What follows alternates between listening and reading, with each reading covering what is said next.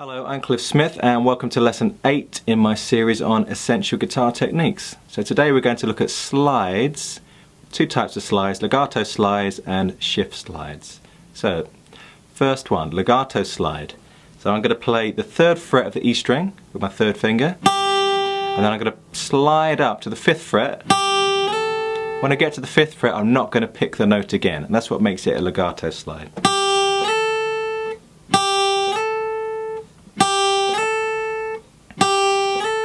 Okay, so when I slide up, I'm doing it quickly. I'm not going like that. If I do that, I can hear the note in between. I don't want to hear. I just want to hear the third fret and the fifth fret. So I have to go through that middle note quickly. It doesn't mean I have to slide up straight away. I can hold that first note for as long as I like. But when I do slide up, the movement itself is quick.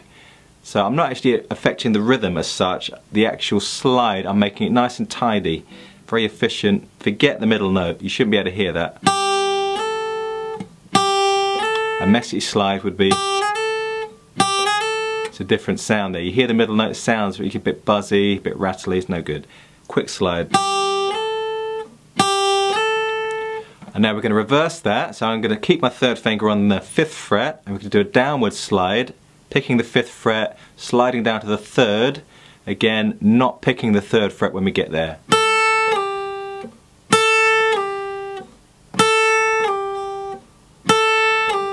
Okay, so that's again, you don't hear the middle note. I'm not doing this. That's no good. Pick the fifth fret, quickly slide down to the third.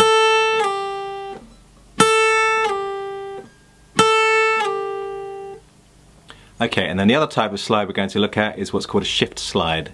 So it's exactly the same as the legato slide. The only difference is when I get to the second note, I'm going to pick it as well. So third finger, third fret, E string pick that note, slide up to the fifth fret. When you get to the fifth fret, pick it again.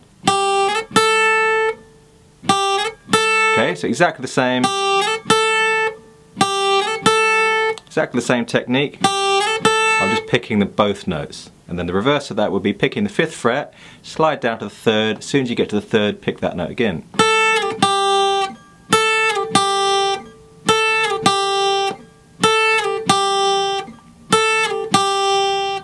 Thanks very much for watching. I hope you enjoyed this free video. Um, there is some tab for this lesson on my website.